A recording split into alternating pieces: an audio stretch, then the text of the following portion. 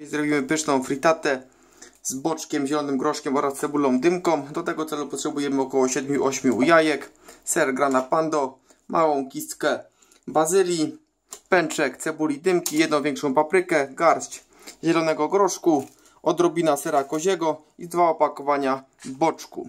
W pierwszej kolejności zleczemy ser na drobnych oczkach. Ja staram około 100 gram, ale możemy użyć mniejszej ilości. Paprykę kroimy w takie większe paski.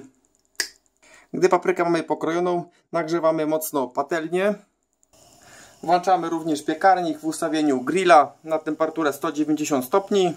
Pokroimy boczek. Ja użyję dwa opakowania boczku, ale możemy zrobić z jednego. Kroimy taką większą kosteczkę. Patelnia nagrzana, tak więc wrzucimy boczek i na mocnym ogniu go chwilkę podsmażymy. Przyprawimy go świeżo zielonym pieprzem.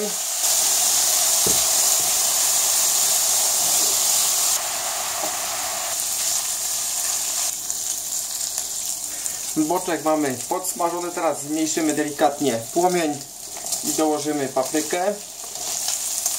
Wszystko razem przemieszamy. W międzyczasie pokroimy cebulę dymkę, tak zwane zielone diamenty.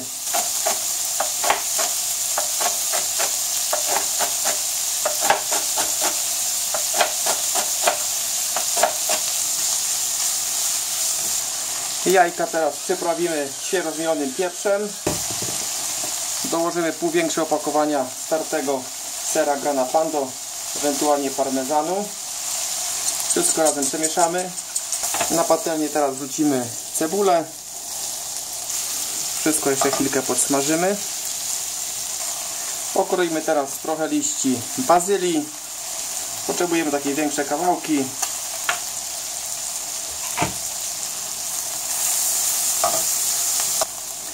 Ja wykorzystam pół sera koziego. Pokroimy go na plastry. Za chwilkę go zdrobimy na patelnię. Wszystko na patelni mamy ładnie podsmażone. Teraz dołożymy pół szklanki rozmrożonego groszku. Dorzucimy świeżą bazylię. Jeszcze wszystko chwilkę podsmażymy. Teraz na patelnię wdrobimy kozi ser. Rozdrobimy go na kawałki, takie większe.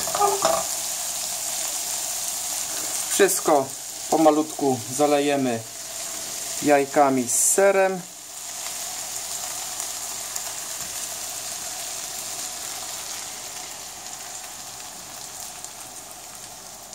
Jeszcze raz wszystko delikatnie przemieszamy.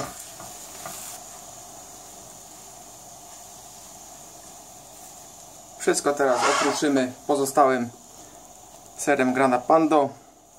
I patelnię wkładamy na 6 minut piekarnika. Funkcja grill 190 stopni.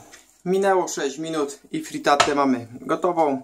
Teraz odetniemy krawędzie tak żeby nam to wszystko fajnie wyszło